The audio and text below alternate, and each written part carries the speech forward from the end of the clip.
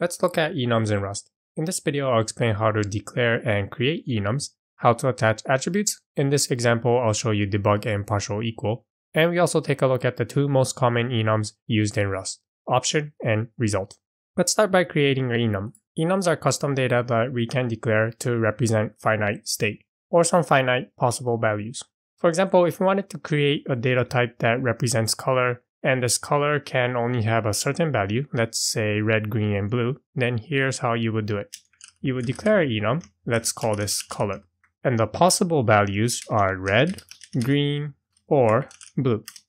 So this is a enum in a traditional sense. However, in Rust, you can do more.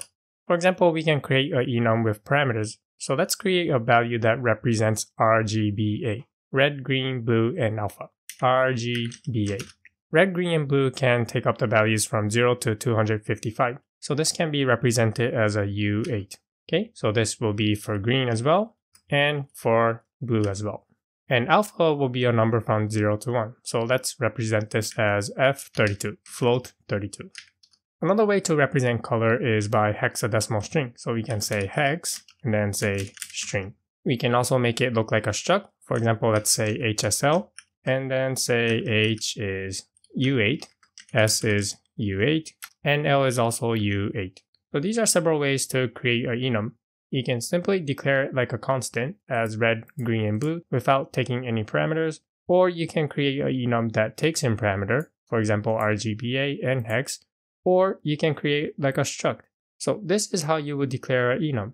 Let's now initialize it inside our main function. So you might say something like that color of type color is equal to, say, color colon colon red. Okay, and another example, we can say color. We can omit the type since Rust can infer the type and then say, let's say green. Okay, and let me show you an example of RGBA. So say RGBA. And inside this parentheses, we'll need to put in four parameters. 3 U8 and 1 float. So say 0, 0, 255, and for the float, we can put in 0.1. And we can also do with hex, so say hex, and then put in a string. Let's say hashtag ff ff ff dot to string to change this string literal into a string. Okay, and for the last example, using HSL, HSL. And this time, we'll need to create a enum like a struct. So say for H, let's put a 0. For S, let's put a 1. And for L, let's say 200. So these are several ways to create a enum that can take on many values. Let's now print this out. So to print this out, we'll say print ln. And let's use the debug feature to print the whole enum. Curly braces, question mark, curly braces, and then we'll print the last color that was created. Now, if we try to save this, you'll see a compilation error saying that color doesn't implement debug. So this is where I introduce you how to add an attribute of debug to this enum. To do this, you'll type hashtag brackets derive inside parentheses you'll type debug. So this is declaring to Rust auto generate some code that handles debugging so that when we do print ln with this for the color, it is able to print this enum nicely. Let's give it a try. My terminal, I'll type cargo run dash dash bin enum. Okay, and then this is the enum that is printed. Next, let's take a look at partial equal. Partial equal. So what if we wanted to compare two enums? For example, let's say we wanted to color green and red. Is color dot red equal to color dot green? Are they equal?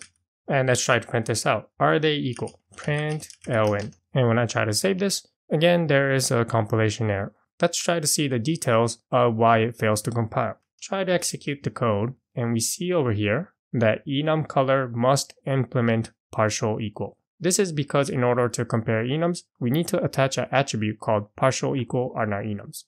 So inside here, you'll say partial equal. Okay, and then you can see that the error goes away. So let's try printing this out. If we compare red with green, then this should be false. And if we compare red with red, this should be equal to true execute the code, and we get false and then true. Next, I'm going to talk about the two most common enums that is used in Rust, option and result. Let's start with option. An option is an enum that can take on two values, either some and inside this parentheses, you'll have some kind of value. For example, if it's a U32, then it will have some number, let's say 11. Or if there's no value, then this enum will return a none.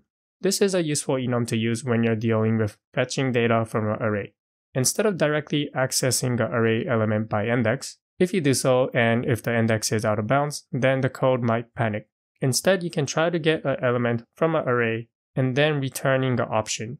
If the index is a valid index, meaning that the index is within the bounds, then it will return some with that number inside. However, if the index is out of bounds, then it will return a none. So that is one example, and I'll show you this example in more details in another video. For now, let's see how to create a enum of type option. Let's start with the simple case. Let's say that x of type option of let's say i32 is equal to, the simple one is none. It has no value, hence it is equal to none. How about if there's some kind of value? Let's say that x of type, again option i32 equals some, and then let's put in some number, let's say minus 11. Okay, and we can print this out too, print ln. then say option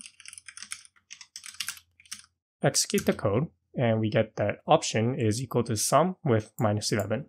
Next, let's take a look at result.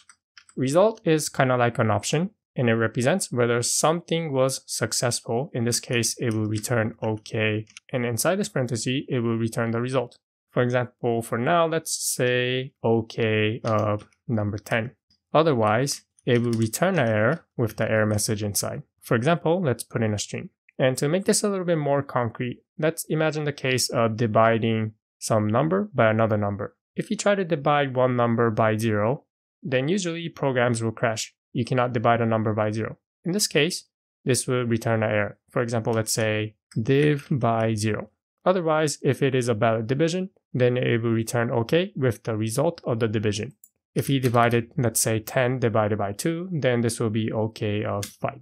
Let's see how to create it let's say that res of type result, let's say u32 for the OK case, and the type that goes inside the error will be a string, is equal to, let's say OK of 5, and that res of, again, result u32, error type is string, is error dot div by 0 dot to string.